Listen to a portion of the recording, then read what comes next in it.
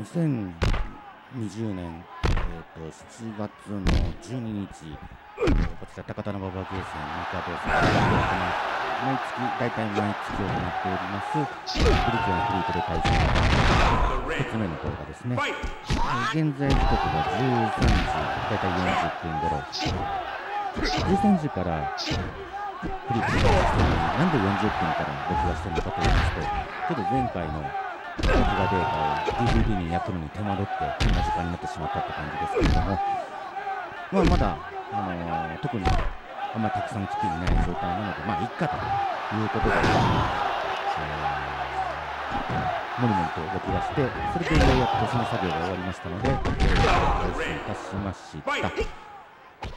現在はこれは、ワンピー側は、えー、金太郎さんかな金太郎さんの代なのかと、ツーピー側がゆくとさんのセブンで。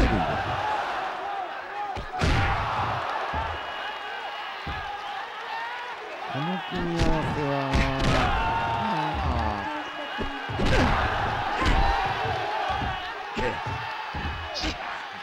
ガイがリフリくらいかな。ヒギングの有利有利だぜって思えるほど有利じゃない気がするんですよね。あのペースは握れるとは思うけど、一重にガイの火力が低いせいで、えー、ガイ側が苦しいっていう、それだけかなと、技構成的にはガイ割とやれる方だと思うんで。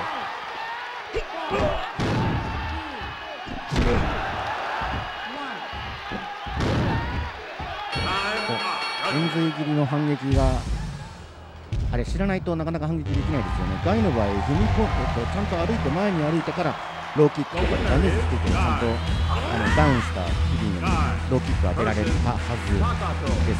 はい。あれ起き上がり始めちゃうともう無敵になるんで、当てられないキャラはもういますからね。うん、全くあのヨンソンとか多分届かないと思うから、あローのローキックがある程度長いキャラじゃないとどうしようもないんですよね。うん、赤ツマの中そこで入りますからね。ああ入りますね、ドスーンと。ドスンで。あのー。なんだろう、円髄切り起き,、えっと起き上がり自体は無敵なんですけども、ダウン中のダウンダウン時間が、えっとレバーガチャしても短くならないから、あの追い打ち追い打ち狙えるキャラは追い打ち狙えるっちゃ狙えるのか。シャンターも無理だし、シャンター届かなす、タカト無理ですね。タカトはまあ、あの円髄切りそのものを取れよって話なんで。ジャンプ攻撃取れ、うーん、そっか、ジャンプ攻撃取れるキャラってタカトしかいないのか。ジャンプ攻撃取らなくても、ん当てれば、あの地上から横断攻撃で当てれば、まあ、発生が遅いですからね。発生が遅いから、あの円髄切りはあの潰すことができるならそれに越したことはないってやつなんですけど、でも潰されるような間合いでヒディングも円髄切り出さないから、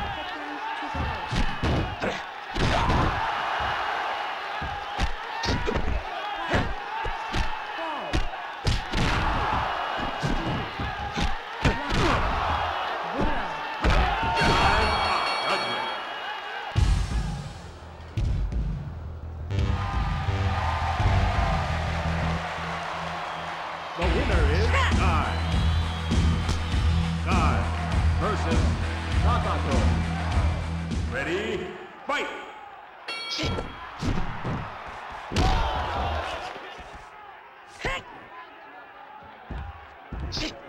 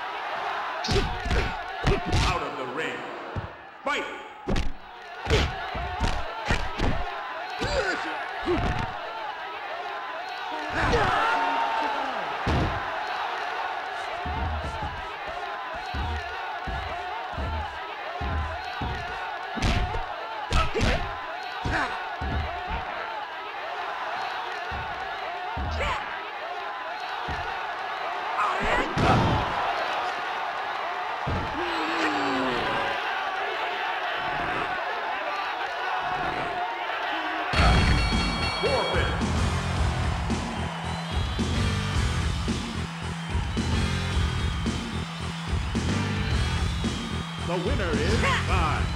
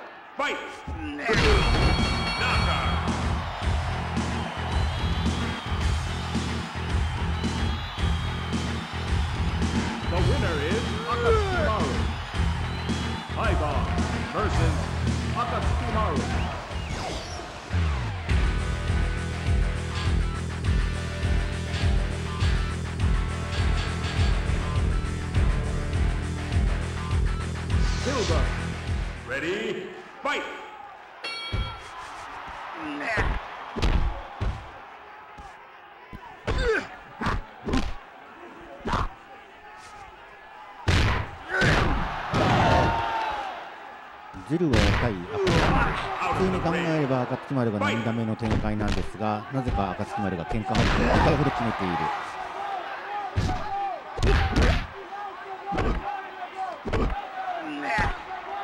今喧嘩張り手と裏口かの次第しか暁丸やれることはないですからね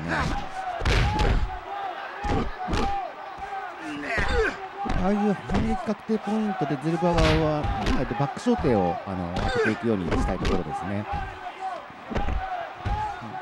普通のあのローキックや聖剣のヒット確認でバック小手はちょっと難しいんですけれども、反撃確定だったら、まああの操作ミスんなければ確定ヒットしますから、そういうところでバックショートできっちりダメージを取っていくっていう風にしたいですね。ローキックやハイキックよりかはバックショートの方がちょっとダメージがでかいのかな。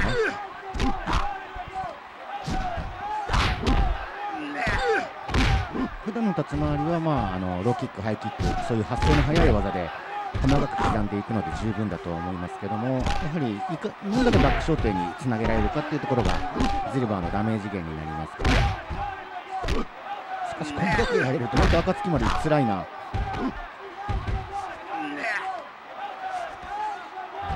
基本に忠実に、暁までの動きをさせないようにする Out ズルバー。ring. Fight! まあ、その、下馬評通りの順当な戦いというか、まあ、こうなりますよねっていう、そういう勝負になってますね。まあ、暁丸だと、バック小手ガードしても、反撃いい技がないんだな。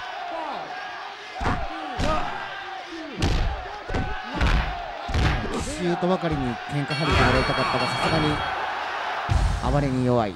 しょうがないんだけどね。結局バック小手ガードしても張り手ぐらいしか確定する技がなくて張り手当ててもそこまで別にいいことない。ダメージは取れる多少取れるけれども多少しか取れないし。コ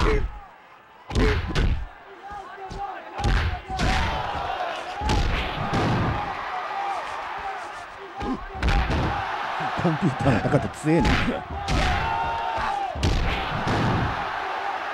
うん、なんか最近コンピューターの高さ強いらしいんですけども、なんか良くないことでもあったんですかね？ね、はいあのー AI がね学習してるんですよ AI 搭載してんのかな、このゲーム。後発の、うん後発の AI がめちゃめちゃ学習してて Python と Y がめちゃめちゃ強いらしいんですよ Python と Gai たくさん使われてるから。あのー、ミカドのうん。ミカドの AI は、うん多分柿谷さんの高度が強いんですよああ、そうね。うん。めちゃめちゃ上段と中段取ってるんですよ。取ってくる、取ってくる。一人目からあの取るとこまで取るんだけど、うんあの ring. 一人目なんで返しては来ないんだけど、う技が全然問わなくなる何ゲもゲームにならない。何このみたいな感じになってん。全くゲームにならない。面白いですよ。うん。やってられるわって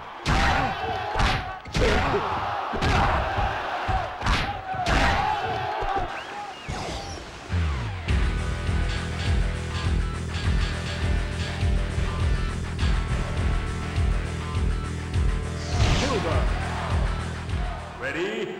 Fight. ということで、えー、ズルバー対高とまずは、えー、中下段両手構えで振ったが当て身流しまではいけずローキック、えー、ローキックハイキックの間合いでそれ以上近づかないようにそれ以上近寄らないようにすることで足取りの間合いをギリギリ避けるっていうそういう選択でしたね当て身流しで裏に回しましたがまあ、リング際が近かったので、愛知下段決めても、その後連続技にはならなかったでしょうね。ですから、今のは結果オーライ、ボーッとフェイントからの政権好きを中段両手構えで取って、入り身投げ。飛び膝2段はなんかうまく当たらなかった。あーっと、踏み込み速攻蹴りを上段で取っ中段か、今の。中段で取ってたな。中段で取れるんだ、あれ。すげえな。どう考えても上段速度だろうと思うんだけど、中段で取りやがった、この男。うん。まあ、その辺、あのー割と判定はアバウト。はい、おっと、まあ、バック小手かなんかを上段で取ったのかな。えー上中段、えー両手構えから当て身流し、そして相木下段からの肘締め。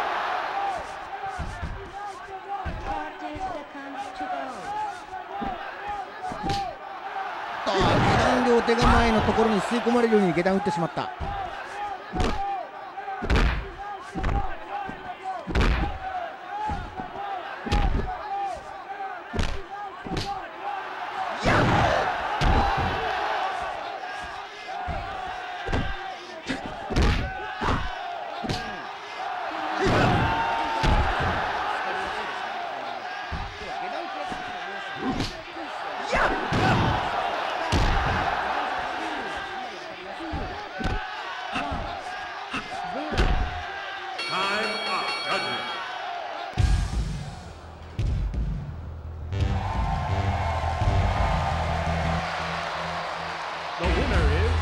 Takato.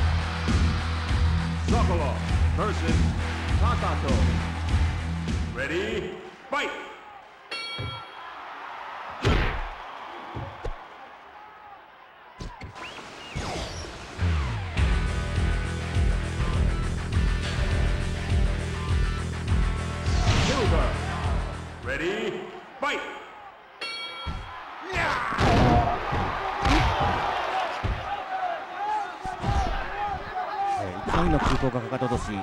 上中段両手構えちょっと整列取れなかったですね。上中段両手構えはジャンプ攻撃は取れません。うん、技を出さないっていうフェイントはあるはあるんだけども、フェイントかけたところであんまり意味がないという、あのそんだけ隙がでかいってことですね。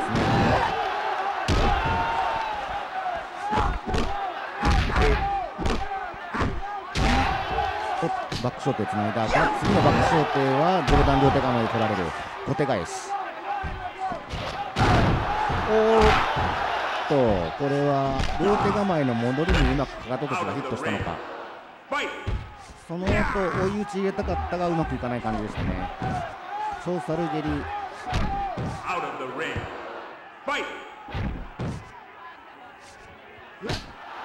まあさすがにそんだけやってりゃ取られますよねっていう話で。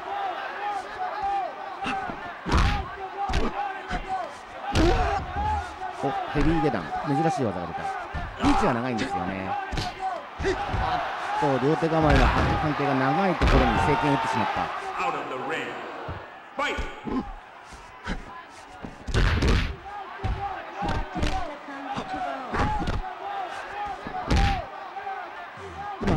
下段両手構えだったんですけれども、えーヘビー下段を出すのが遅かったそうで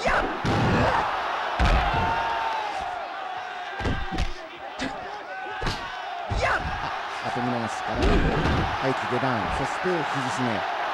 だ KO にはならない。目が出ればかなり体力がやばくなってきた。go. と残影剣残影剣なんて名前だったっけかな。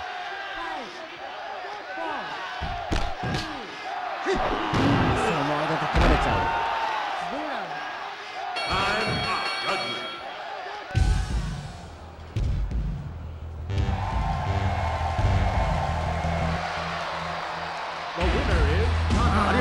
取ってればさすがに判定勝ちにはなるでしょう。あんまりクリーンヒットしなかったですしね。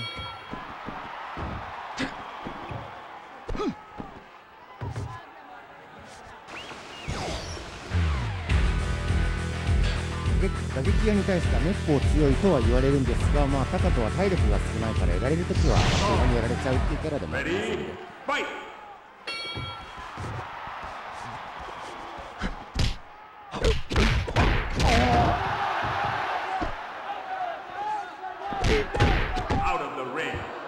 Fight!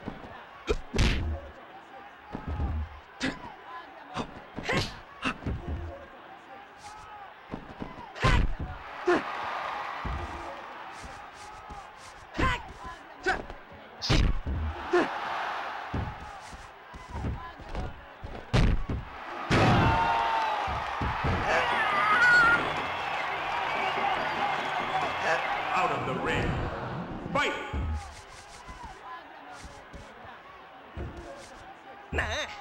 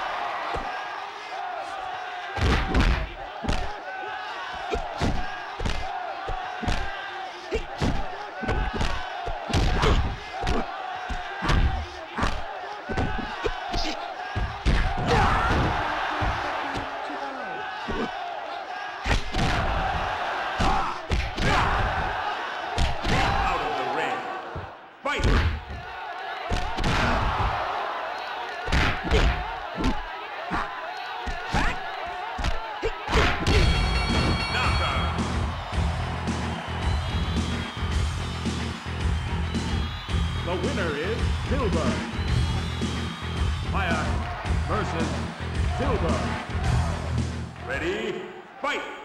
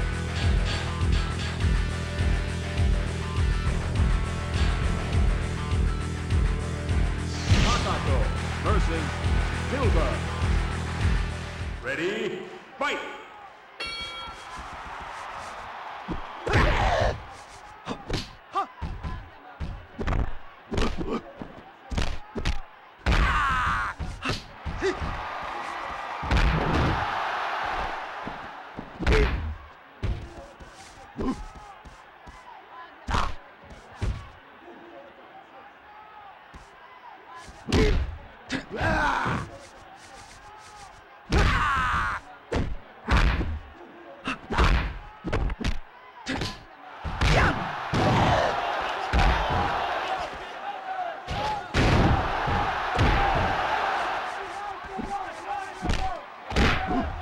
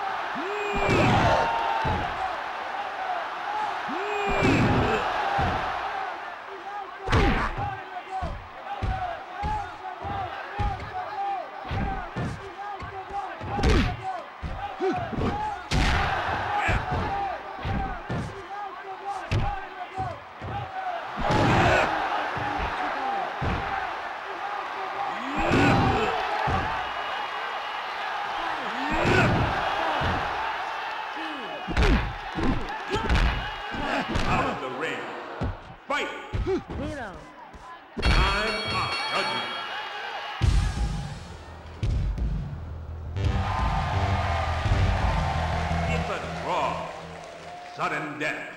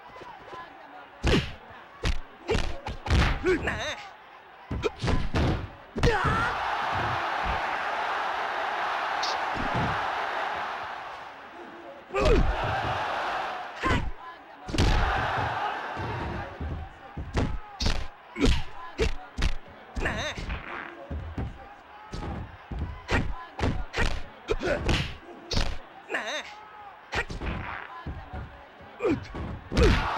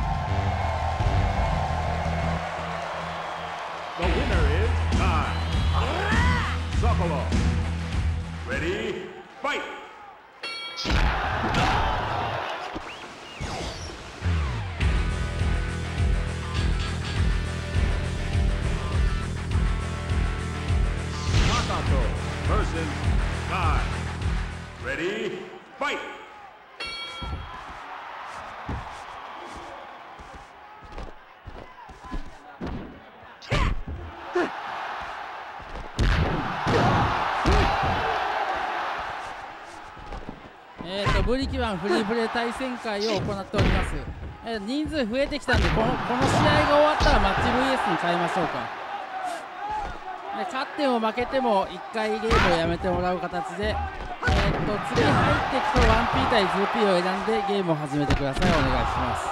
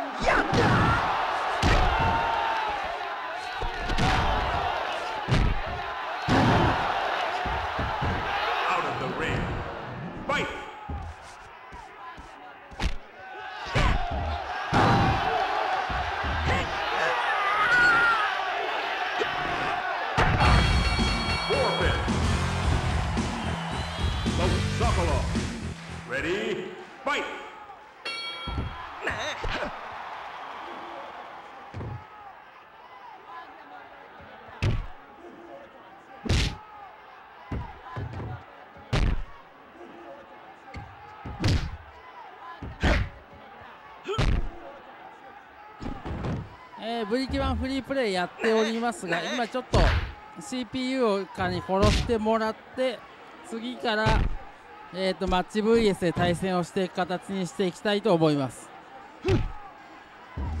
でえー、っと 1P 対 2P で入ってもらって勝っても負けても次の人に席を譲ってください。お願いします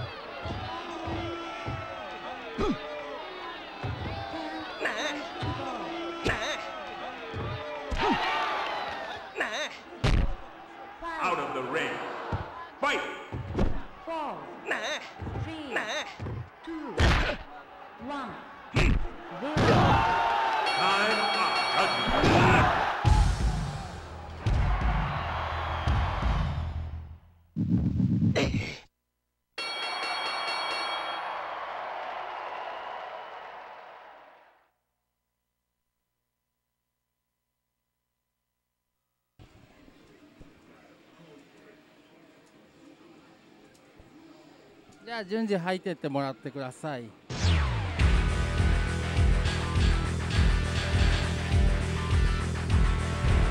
側イワン・ソコロフで 2P 側がソ・ヨンソン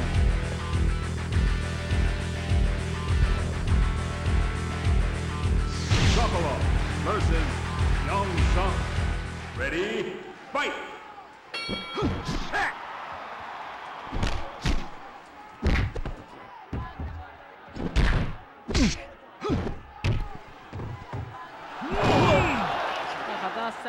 ックル入って裏回りしてバック取りはできずに起き上がりに弱三段を食らうタックルで裏に投げて2回投げる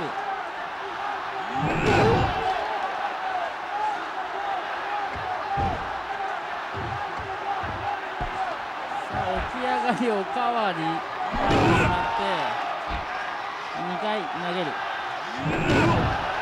まだ生きてるので次は普通に起き上がる。動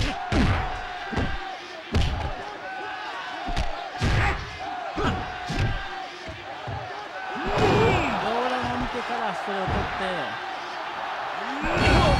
こよう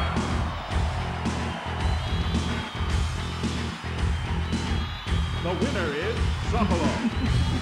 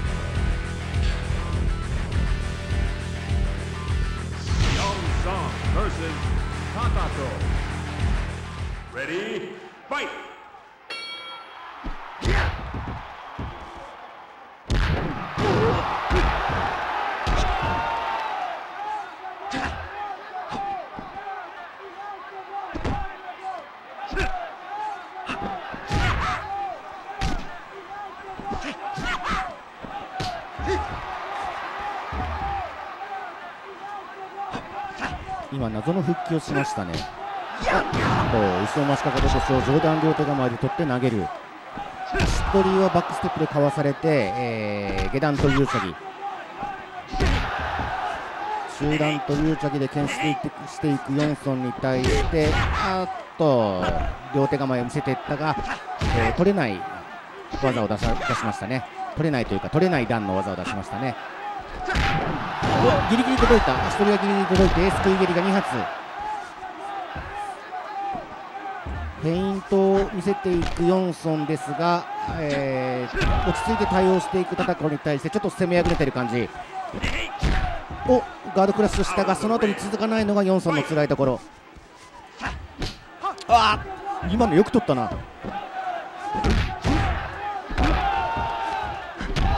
お下段打って。中段見せてから中段。お取ったがこれはリング際ギリギリだったので、えーおとなしく金的蹴りでリングアウトを、ね、させる。中段取って入り身投げで投げる。追い打ちは狙わず、えー、今度後ろ蹴り上げをガードした後最速の足取り投げ。すくい蹴りが2発入ってヨンソン側の体力がちょっとやばい状態、えー、先肘打ちを出したがヨンソンの蹴りが入った。あーっと今のは中段じゃ取れない技だったんだがとっさに上中段に切り替えて取ったが流しまでいけず。おっと追い打ちが4発目は入らない。おおギリギリ足取りが先に入った。両者両者高とギリギリ高との勝利。取った数がものを言った感じですかね今のは。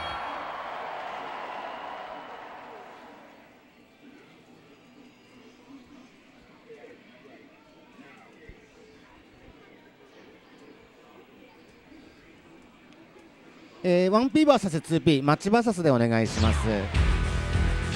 1P 側は誰を選ぶのか。2P 側はソコロフ。1P 側は、えーそれを見てからなのか、えー、ガイを選択!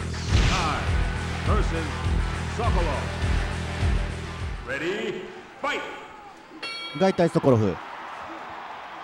ガイがまずはバックナックルで攻めていくがおおバーウィンを見てからなのか。ガイスライダーで潰した。とタックルが入ってタックルバック投げ。1回目。フローキックで潰してあっと片足タックル。失敗してしまった。ガイスライダーへ追い打ち。今度はミュールキックの下をくぐるように片足タックルを決めたがリング際が近かった。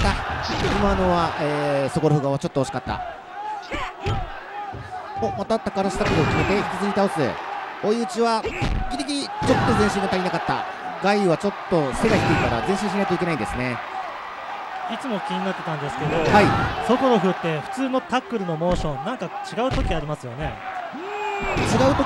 おっとはいタックル返した、ええあのひょいっとあの、はい。腰をつかむのと、はい。あの手をブラーンと下げて、はい。あのすくい上げるようにタックルに行くような。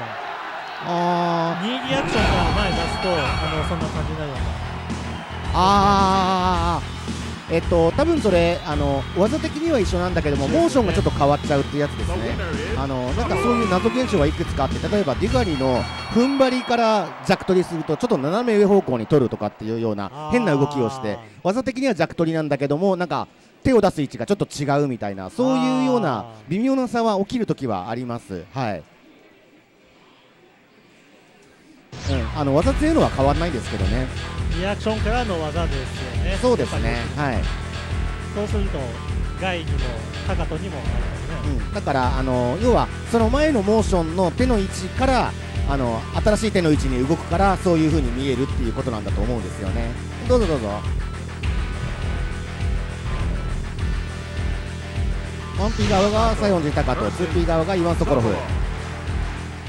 これは結構上級だとあのかなりじりじりした戦いにはなるんでしょうけど、はいはい。まあでもやっぱソコロフの方が決めやすいんじゃないかなとは思うんですよ。そうですね。あのー、高人が不利なのは否めないとは思いますというか割と不利だと思うんですよね。あったうん。あのー執行状態であの間合いを測るみたいなことをしないと基本的に勝負にすらならないみたいなところはなきにしもあらずといったところなんで、でもそれもいつか解除されちゃいますよね、まああのー、それでも別に決定的な差にはならないですからね。と執行で形タックルをかわしたが足取りがちょっと早すぎたのか。お互い狙いがうまくおっ手受けタックルが入って後ろ逃げ場なかったですか、ね、そうですね。あれは逃げ場なかったですね。結果論で言うとあの裏駅を見せて蹴られてリングアウトした方がまだマシだったかもしれないくらいですかね。その裏にも片足タックルがあるんですよ。うん、ただ、あーでもそっか投げられてたからもうバランスゲージがないから裏駅で。ただリング際だと裏駅で押し倒されてもリングアウトですから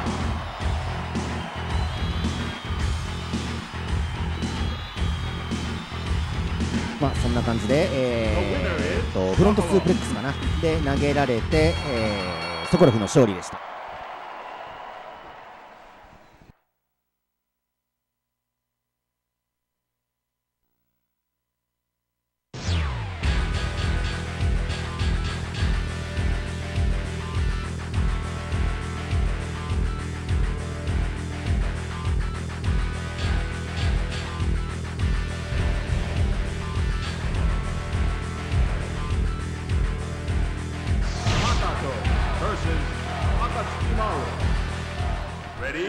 1P 側暁丸を見てから 1P 側高戸で入る。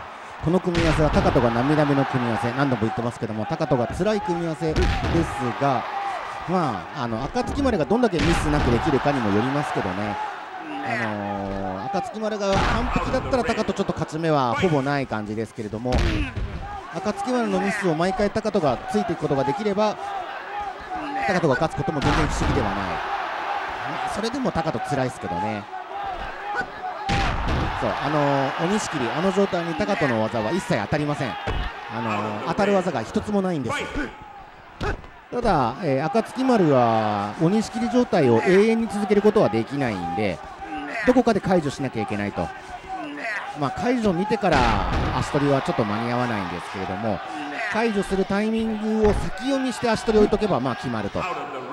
あとは裏ぶちかましをガードした後は、えー、とヘビー攻撃で反撃ができる間合いが存在する。最速でないと反撃できないんですけども最速なら反撃できると。それとあの鬼仕切りと,、えー、ともろ差しはモーションのわずかな違いで対応を変えるとかそういう細かいところをきっちりやっていって初めて高人に勝機が見えるっていうぐらい高人はきつい組み合わせなんですね。ああ踏んづけられて高人の KO 負け、えー、赤月丸の勝利です。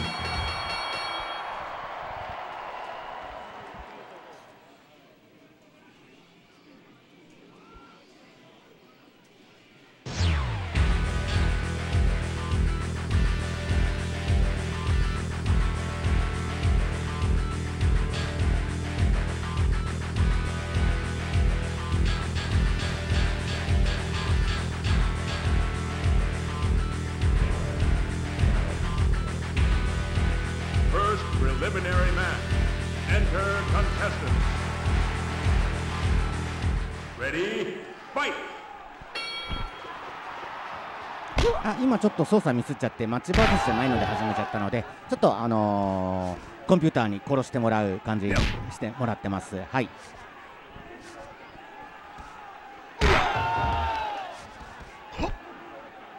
インカムプレーの時はすげえあのなんか調子よくこっちの攻撃をリアクションでかわしたり、あのそうそう。当て身とか取ったりいきなり連続技してきたりするのでなんかフリップだと早く殺してほしいのに 殺してくれないんですよね。あのこの頃の SNK の CPU に特に顕著だと思うんですけども超反応なんですよね基本的に。反応してなんかしてくるからこっちがなんかアクションしようとすると殺されるんだけれども何にもしてないと向こうも何にもしないみたいな。決勝戦とかジルバーはまあ超反応見せてくれますよね、えーどうしてもマッチバーサスとかを繰り返した後ですと1人目になるからあんまりがっつり反応してくるわけでもない。攻撃してくるわけでもない。投げてくれる投げてくれたからまだ優しい。当て身を打ってくれるからまだ優しい。でも座ん座っても三角締めはしてこない。あ投げてきた投げてきた。ああと1回投げればシャンタオなら死ねんぞ。そう。比較的空気を読んでくれるデュガリ CPU でよかったです押し出すな。おいおいおい。押し出すなよ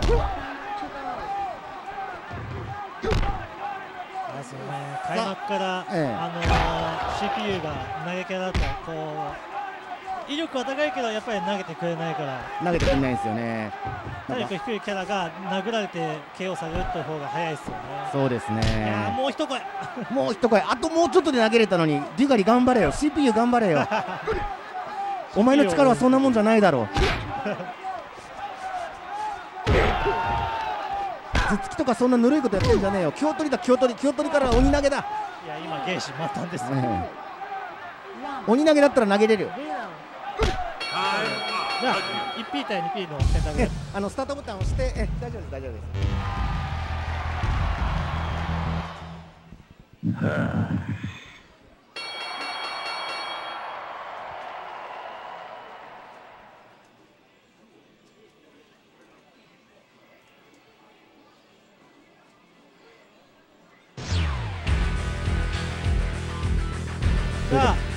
側もどうぞ入ってください。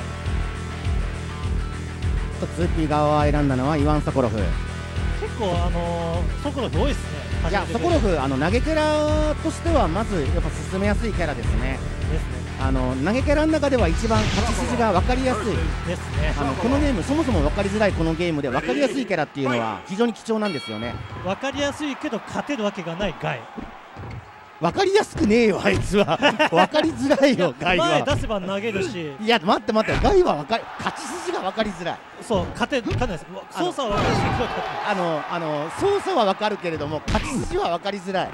あのやっぱ進めるキャラは勝ち筋が分かりやすいキャラじゃないと進めづらいです。はい。まあ勝って勝利の美酒が味ええ。わえないと続えけられないですもんね、というかあのそうでなくてもあの何度も言ってますけどもゲームがプレイヤーに分からん殺しをするゲームだから あのーまずゲームに負けないところがあの大事なんですよ。勝ち筋が分かりやすいキャラはまずゲームに負けない可能性が高い。あの勝ちやすいキャラを使ってもゲームに負ける可能性があるんだけどまだまだマシ。スト2だったらいきなりあのー、残機選ぶとかですかね。全く知識なしで懺悔選んだらそりゃ腹立ちますよね。なんだよこのキャラって思いますよね。それもあの無印の普通ね。あのダブルラリアットでも前後に移動できないようなやつ、はあーハイスピードでじゃなくて普通のもあのー、ターボ以降でしたっけ？い、えっとダッシュダッシュで前後移動できるようになったんじゃなか。ったでターボからハイスハイスピードラリアットになってスーパーでクイックラリアットになってみたいなそんな感じだったんですけどもそれすらない無印のザンギを全く知識なしで始めたらそれは腹立つでしょっていう、ラリアットの歴史ありですね、え。さあソコロフ対ソコロフですが、えっと、これは 1P、2P が今入れ替わってますね。入れ替わってますか？さあ 2P がタックル切って片足タックル。まだ行ったが、おっとタックル返しそして倒れ投げ KO あーテクイ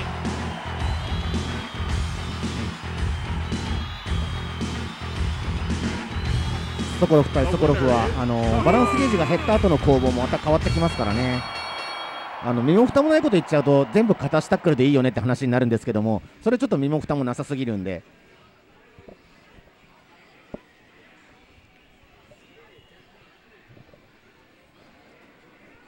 まあ片足タックルもね外したら地獄です。地獄ですねはい。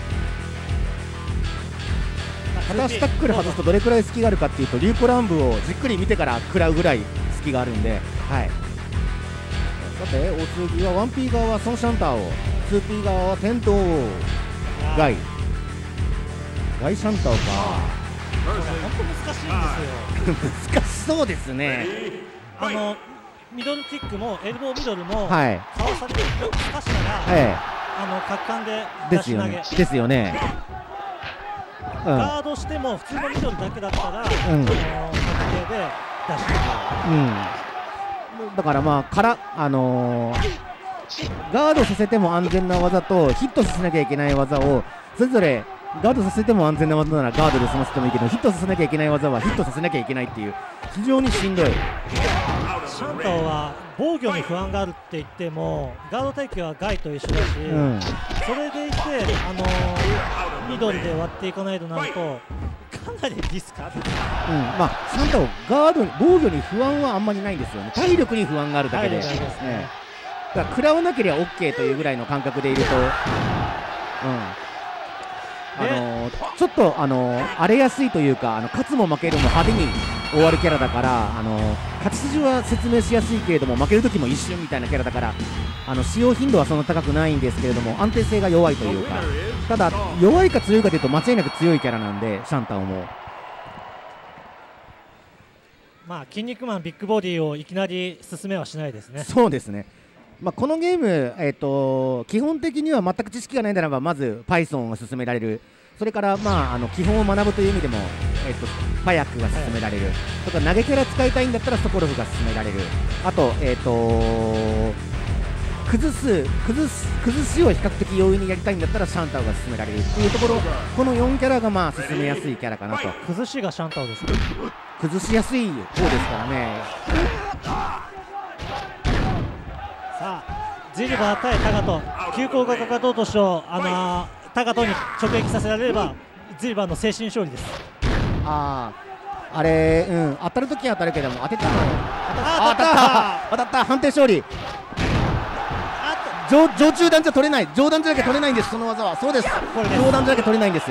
なぜならば上段攻撃は上段えっとジャンプ攻撃は上段両手構えでしか返せないから。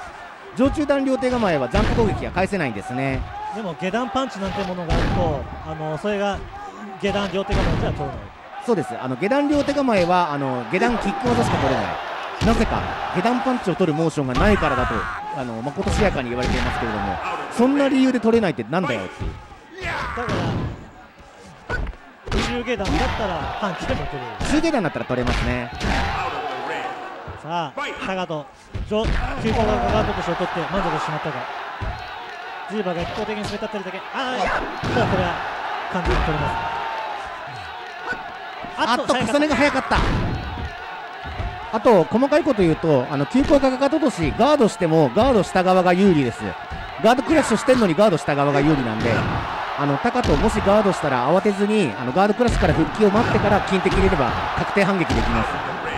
まあさすがに足取りまではいかないと。足取りは無理ですねまああの金敵を散々見せて金敵をワンチャンスガードできればと思って固まってるジルバーに対してならば足取り決まるかもしれないけどもそれぐらいの話ですね。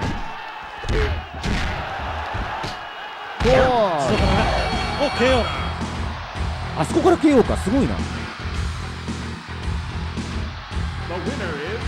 ありがとうございました。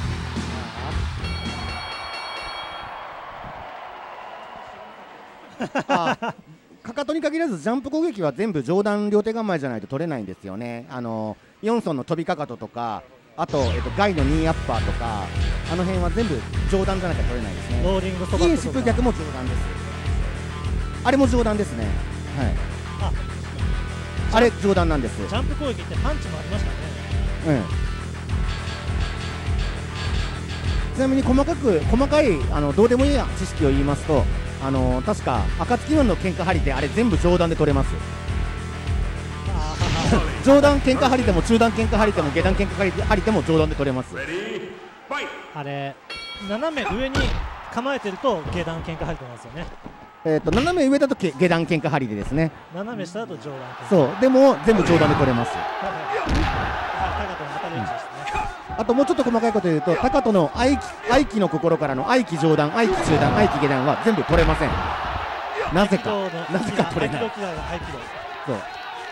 まあ取れなかったところで全くあのー戦力に影響ないんですけどね。投げられた。タガトを担いで反対側に下ろし続けるとタガトは死ぬ。そう。あの.高人を投げ続けると高人は死ぬ。誰だって投げ続け投げ続けたら死ぬよこのブリキのリングって下にスプリング効いてんですかね？一応弾いてんじゃないですかね。あの音がなんかバツンバツンってあの音あのプロレスとかのマットみたいな音がしますからね。全世界の異種格闘技であるブリキの大会ですけど、はい。やはり相手の内相手の体を傷一つつけずにはい。骨だけをすべて抜き取る中国恐るべき中国の暗殺権とかといやー。それはさすがにダメなんじゃないですか。殺法はダメでしょ Fight. 5体さ背骨種いや殺法はダメでしょさあまたた今度はタガト対、えーパヤック。パヤックもかなり進めやすいみたそうですね。あのー決定的に不利なキャラ、まあ、実はいるんですけれども、パイソンとかね、いるんですけれども、あと上級者の量とかね、いるんですけれども、総じてあの中級者クラスまでだったら、明快な弱点がないキャラ、おっと2段目だ明快な弱点がないんだけれども、あの自分から攻めることができないというところがちょっと使うのが難しいキャラですかね。マッチキャラなんだけど待っててか待ってたら実は勝てないっていう。そうですね。リードを広げるキャラですもんね。そうですね。あのリードを広げてリそのリードを生かして待つキャラ、だから最初が感じるかうん、あと当然あの判定的にあの大差つけられるとまくるのが難しいキャラでもあるので、あの食らわずに当てる食らわずに当てるを意識し続けなきゃいけないというそしてココタカと相手に限ってはやっぱり極意としては攻めない攻めを見せるのが最終的に正しくなるのかなそうですね。感じてきますね高とはあの同じあの例えば間合いギリギリで必ずミドルキックを打つみたいなことをしちゃうと取られちゃうので間合いギリギリから一歩踏み込んで打つとか間合いギリギリで打たないでそのまま歩いていくとかなんかそういうあの普段はやらないことをしなきゃいけないと。こうしてあの密着で起き上がりする時のリバーサルで振るような技もタカとエデにはちょっと渋っちゃいますね。そうですね。サウザー対時の気持ちですよこっちがタク仕掛けてるのになんで時にタク仕掛けられてるんだうん。あのー毎回毎回じゃんけんみたいな感じになるんでで一方で高人とやりすぎるとフォームが崩れるからあんまりやりすぎない方がいいって話もありますからね、うん、あの高人が異常なんであんまり異常なキャラとやりすぎると、あのー基本基本がぐちゃぐちゃになっちゃう部分はあるんで。試合終了後も相手に影響を残すタカとええ。恐ろしいけどフォームが崩れちゃうらしいんですよね。あの古参ブリキ勢も言ってました。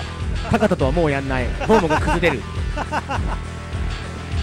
なんかワンアウトでもそういう話ありましたよ。イエーイ昨日の試合ボガスが打って大量得点で勝ったで、ええ次の試合。なんだすげえ打てねえぞどうなってんだ。俺たちフォームを崩されていたんだ。プロ野球とかだプロ野球とかだとねあの3試合ずつとかでやったりするからそういうこともできるのかも。やるかなやるかなやんないよな。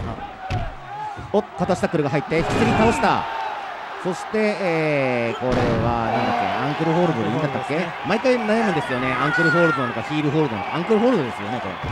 かかとかアキレス腱か。ええ。タックルが入った。押し倒して持ち上げて投げる。そしてもう1回投げる。もうこうなっちゃうとタカトが追い上げるっていう方法になるんで絶望的ですねそうですね。ただ時間的にはああでもこれもうきついな。折れるか。もはや折れるのの問題かと思ったらタカトの抵抗がそうしてソコロフの入浴メスです。ねああーナイスタイミング。今のはナイスタイミングだった。片足タックルが入って引きずり倒してソコロフの KO The winner is Sokolov.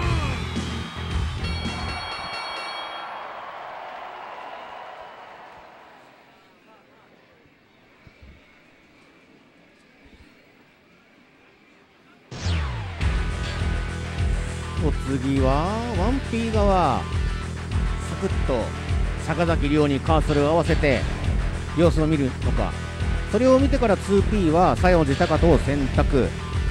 お互いセコンドオフにしたということは俺はエッチだぜ。いやエッチっていうかガチ勢だぜという。ハードモードのエッチなんですけどもエッチだぜって聞くとなんか別の意味に捉え捉え捉えちゃいますよね。エッチな2人。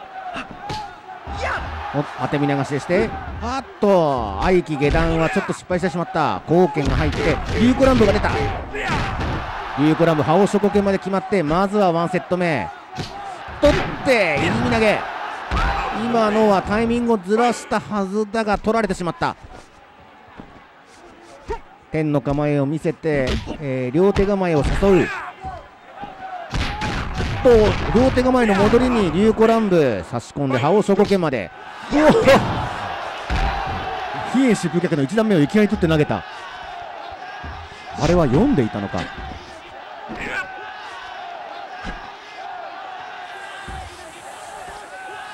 さあこの状態から何が起こるかおー歯をえー、歯を食券が入ったしかしまだ高とは KO されてない高と KO 直前ではあるがまだ KO されてはいないといったところでえー、リュウコランブ1段目がヒットして両の KO 勝ち。初段に合わせて中段合気狙ってるんですけどまあ引っ込めますよねって感じ。まあそうですよね。天の構えが安全にできる前で天の構えをした時点でやっぱり両側が精神的に優位だと思うんですよ。高と相手に。高戸側がそれを咎めるには金的蹴りぐらいしかないんだけども相打ちでもちょっと分が悪い打撃戦だからでそうなると両側は必ずしも最速でリュウコランブ打たなくても良くなるってところはあると思うんですよね!特にあの今の試合で言えば初っ端のリュウコランブが入った後であればなおさらゆとりができるから潰されても金的蹴り程度とかっていうようなものであればリュウコランブを打つ振りを散々見せるっていうのは一つの手だとは思うし。えっとただいまの試合の方は 1P 側がゼルバー 2P 側が天道外二段速と下痢をガードしてふ小手フックを返していく。政権が当たっておー。あ伊勢が人対空対空政権。政権に潰していく、うん、今のはそばと政権で潰したのかな？そうですね。政権は空中技に対しては相当強く潰せますね。まああのゼルバーの背が高いということ政権が割と打撃位置が高いということでジャンプするような技でも結構潰してくれるんですよね。潰し,、ね、潰し能力は高いんだけどちょっと遅いんだよね。そうですね。ハイキックの方が速いくらいでしたっけ？ハイキックのが早いですね。ハイキックの方が速いってただ、えー、とジャンプ攻撃を潰しやすいっていう点でなぜ政権の方がいいかっていうと政権があんまり前に重心が出ないからっていうところはあるかなと思うんですよね。ハイキック結構頭が前に出る。政権より頭が前に出るっぽいからあの相手の攻撃判定と勝ち合いやすいっていうのがあるんじゃないかなと思います。おっとバックトルネードが入った。